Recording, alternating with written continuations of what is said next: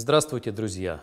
Меня зовут Евгений Карташов, я профессиональный фотограф, и в этой небольшой серии видеоуроков я хочу рассказать вам об основах студийной съемки. То есть рассказать, какое оборудование используется в студии, как с ним обращаться, потому что на эту тему мне приходит много вопросов. Разберем основные ошибки новичков и разберем некоторые несложные схемы съемки в студии, чтобы вы сразу могли прийти и начать уже снимать. В студии, как правило, используются импульсные моноблоки. Выглядят они вот так, то есть вот этот моноблок с надетым стандартным рефлектором, это такая насадка, которой комплектуются, в общем-то, все моноблоки.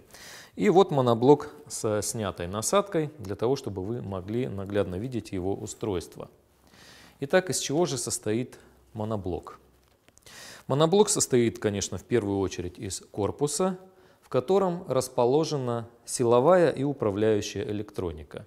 То есть силовая – это питающие элементы, а управляющая – это органы регулировки и управления, с помощью которых мы настраиваем мощность импульса и мощность пилотного света. Давайте рассмотрим органы регулировки и управления более подробно. Я включу моноблок, вот, поставлю его немножко сюда, подальше, чтобы вам было видно. И давайте рассмотрим. Здесь можно отдельно регулировать как пилотный свет. Вот видите, лампочка горит ярче, и вот она горит на минимуме. И также отдельно управляется мощность импульса. То есть вот здесь можно ставить значение от OFF, то есть это полностью выключенная вспышка, и до значения 8. То есть диапазон регулировки этого моноблока составляет 4 ступени. То есть 5 – это минимальная мощность, 6 – одна ступень, 7 – две ступени, 8 – три ступени.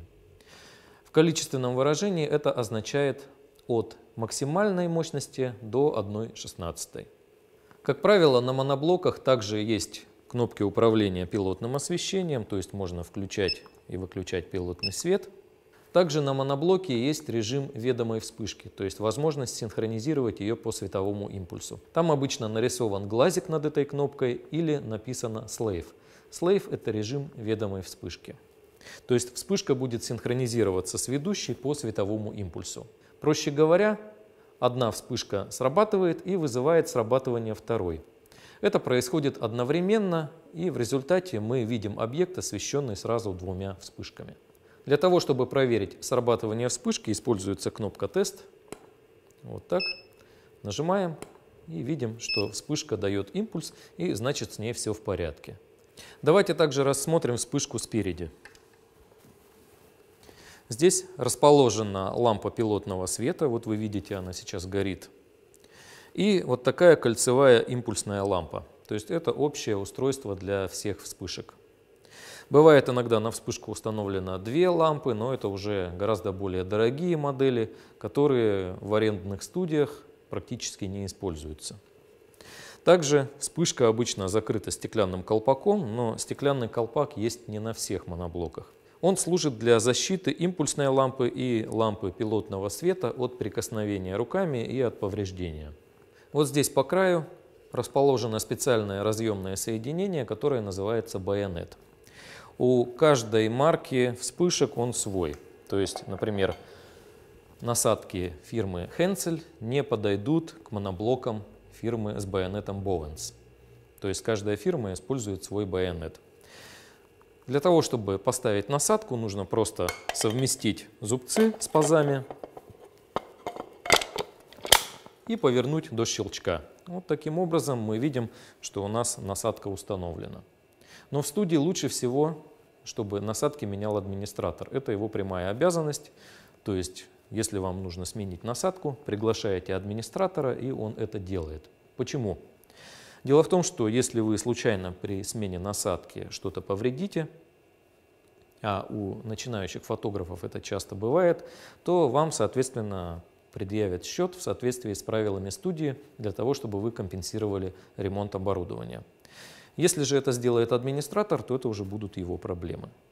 Поэтому подстрахуйте себя и приглашайте администратора, если вам нужно поменять насадки. Кроме того, хочу еще сказать, что разные модели вспышек имеют немножко отличающиеся органы управления, и бывает сразу начинающим тяжело сориентироваться. Вот, допустим, я сейчас показал управление с помощью ручек, а вот здесь, на вот этом моноблоке, управление производится с помощью кнопок. Хотя принцип такой же. Отдельно регулируется пилотный свет, отдельно мощность импульсного, есть режим ведущие вспышки, ведомые вспышки и также кнопка тест. То есть вот такие вещи, они общие для всех моноблоков. Но тем не менее, если у вас возникают какие-то затруднения, не стесняйтесь обращаться к администратору студии. Он всегда должен вам подсказать, какие основные органы управления используются в данных моделях моноблоков. Потому что вы не обязаны все модели моноблоков знать наизусть, где и как и что управляется. И, наконец, для того, чтобы у нас вспышка срабатывала синхронно с затвором фотоаппарата, то есть когда затвор фотоаппарата открыт, используются различные способы синхронизации. Сейчас я возьму парочку синхронизаторов и покажу вам их различные модели. Вот самая простая модель синхронизатора – это инфракрасный синхронизатор. То есть если я нажимаю здесь кнопочку «Тест» с обратной стороны, вот видите, он издает кратковременный импульс красного цвета, то есть это инфракрасное излучение, здесь красное стекло. И это вызывает срабатывание вспышки, если она находится в режиме Slave. Если я этот режим отключу, то, соответственно, вспышка уже срабатывать не будет. То есть вот это самый простой способ синхронизации. Вот. Но такой способ имеет ряд недостатков. Если у вас вспышка стоит где-то, например, за ширмой, куда вот этот импульс синхронизатора уже не долетает, то она срабатывать не будет. Поэтому в современных студиях используются в основном радиосинхронизаторы. Радиосинхронизатор состоит из передатчика, который устанавливается на камеру, и приемника, который вставляется либо в специальный разъем на вспышке, либо в современных вспышках подключается через USB Сейчас я вставлю приемник в USB разъем. Вот на этой вспышке. Включу ее. Эту пока отключу. Давайте я поверну ее так, чтобы вам было видно. И теперь, когда я нажимаю кнопку «Тест», вспышка срабатывает. Когда синхронизатор установлен в горячий башмак фотоаппарата, то сигнал при срабатывании затвора передается на передатчик, передатчик передает его на приемник, и приемник уже дает сигнал на срабатывание вспышки. Происходит это с минимальной задержкой в тот момент, когда затвор фотоаппарата открыт, и, соответственно, в этот момент происходит импульс вспышки, и вспышка освещает объект съемки. Сейчас я положу синхронизаторы на место, и мы продолжим. Также я получаю множество вопросов по такой теме, как настройки камеры для съемки в студии. Ну, здесь вообще все просто. То есть нужно поставить следующие настройки. Это ISO 100, выдержка 1 160 или 1 125 секунды и диафрагма F8. И снимать, естественно, в режиме M. То есть в студии мы всегда снимаем в ручном режиме.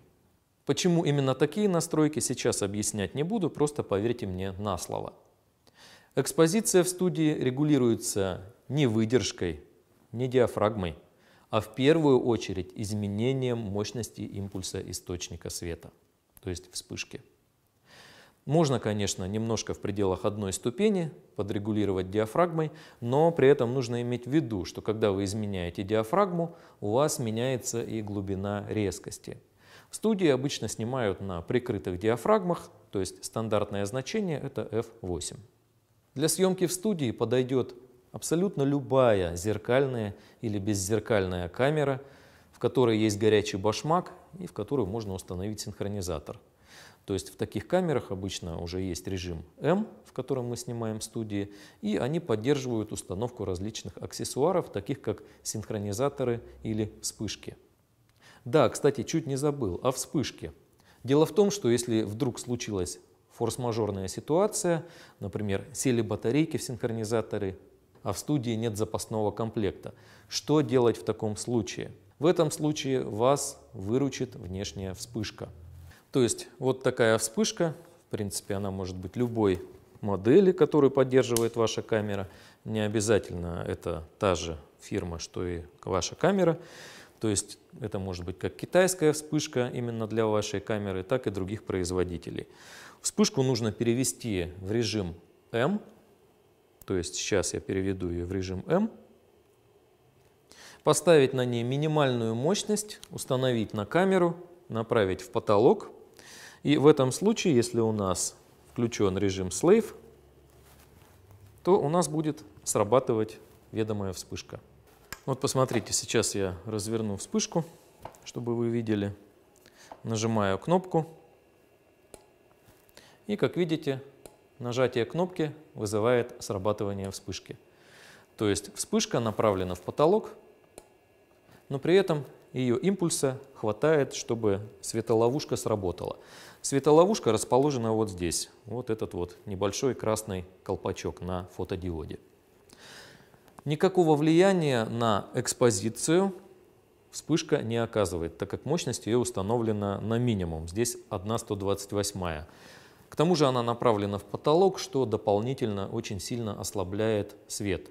Но вспышка реагирует не на саму интенсивность освещения, а именно на короткий импульс потому что схема предусматривает там временное окно, чтобы не реагировать на, например, включение и отключение освещения.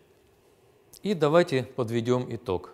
В этом видеоуроке мы с вами познакомились с устройством студийных вспышек, узнали, какие настройки нужно использовать для съемки в студии и узнали способы синхронизации срабатывания затвора фотоаппарата со студийными вспышками. В следующем уроке я расскажу вам, как нежелательно снимать в студии, то есть какую типичную ошибку допускают начинающие фотографы, и расскажу, как этой ошибки избежать. И также мы с вами рассмотрим простейшие способы съемки в студии, но которые дают хороший результат и которые могут использовать именно начинающие фотографы. Итак, я жду вас на следующих уроках.